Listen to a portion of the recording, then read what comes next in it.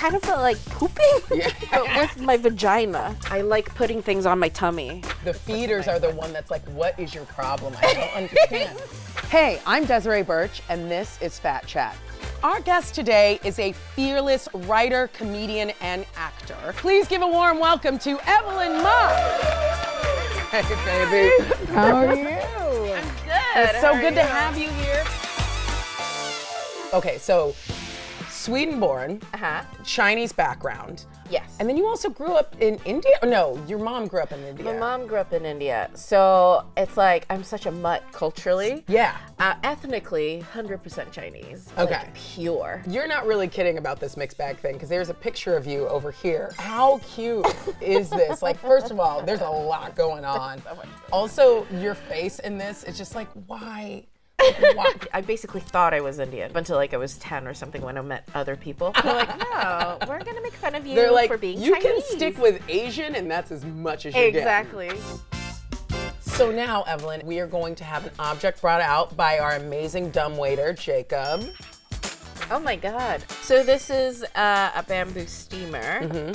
Oh my God, there's actually dumplings in there. They look That's so beautiful. great. Why dumplings? Yeah, it's uh, a, a, basically I am Asian and uh, Just to break it down for anyone who's just joining us, Evelyn's Asian. um, and this and this. Um, my tummy, not my vagina. My gynecologist told me that my cervix is tilted, which is basically saying, Saying you have a slanted vagina. and I'm like, even my vagina? I'm so Chinese. so I grew up, I was a chubby kid, and uh, I've always been chubby. And so, Gold star fatty. Oh my God, I'm fat.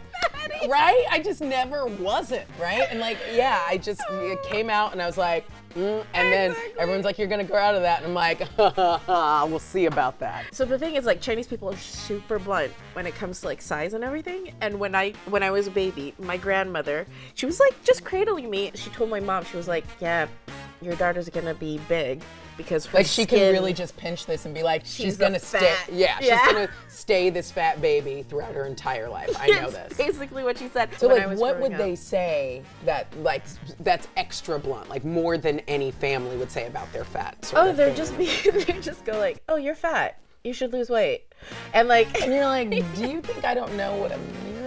They never had solutions. They Course, would always say, "Just lose weight," and then they'd be like, "Just eat. Why aren't you eating? just eat, please eat." The It's feeders are the one that's like, what is your problem? I don't understand.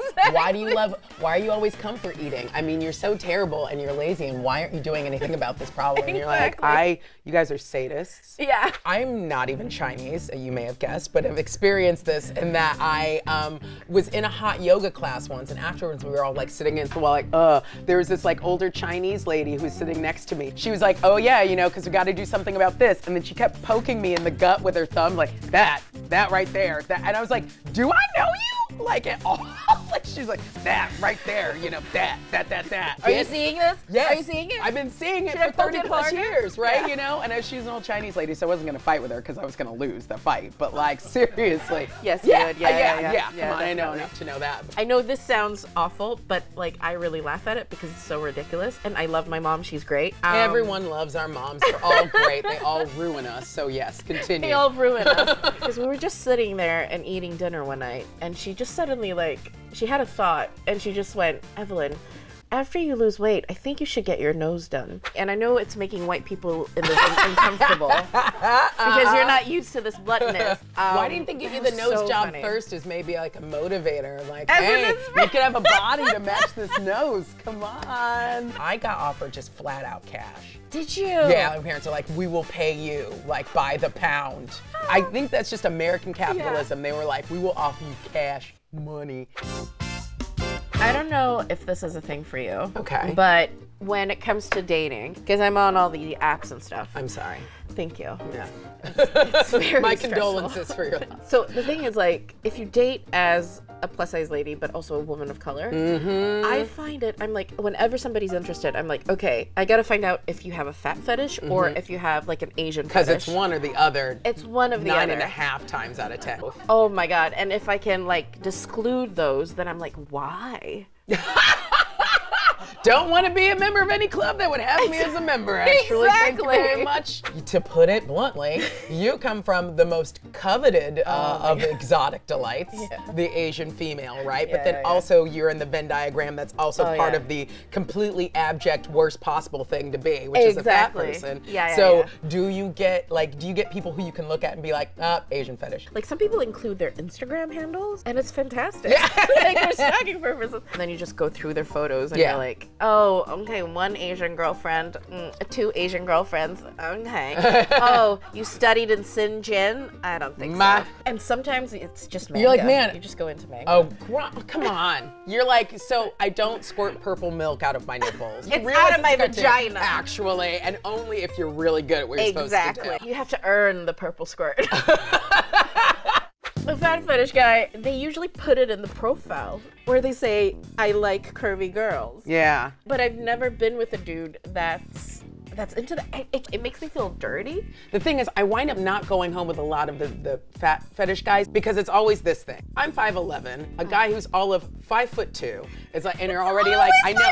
Five foot two. And the, the thing is, like, I wouldn't be mad if he was like the tiniest Mac in the world, but he's always always like, Hi, I like you. And I'm like, I'm not a fucking chocolate factory for you to suckle on. Like, this is, I can see the look in his eyes, like, I want to climb up on you like a baby fucking koala and just like, Ugh. and you're like, gross. Like, I do not want to make love to someone who thinks he's my kid. Like, gross. Like, if he was a tiny player, it would be a different thing, but he's just kind of like, Hi, I like you. And you're like, fuck off. Now it's time for part of the show that I like to call Fat, Fast, and Furious. I'm just gonna throw a question at you. First thing that comes to your mind, Okay. blurt it out. What is your fat superpower? Oh my god, I like putting things on my tummy when I. Have you seen that? I think it's that TV Kevin tray? Smith movie. Yeah, exactly. Where Drew Barrymore's pregnant and she puts popcorn on her tummy. Yep. And I tried to do that and I was like, it works. And also, I put things under my boobs. Yep, exactly. I mean, I was like, how long has that quarter been down there? Yeah, exactly. How was your first time as a fat person? Like, Oh, as a fat sexually. person, how was your first time? Like when the the penis went in. yeah. It kind of felt like pooping. Yeah. but with but with my vagina. and he was like, don't just- push me out. And you're like, I got it, man. Exactly. It just kept coming back in. though.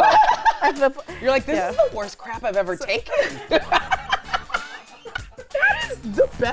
Was it good for you? Like, no, it was really confusing. Great job. Great job, you. This was so much fun. Can we try this one? It kind of felt like I was pooping. Because that's my favorite new story.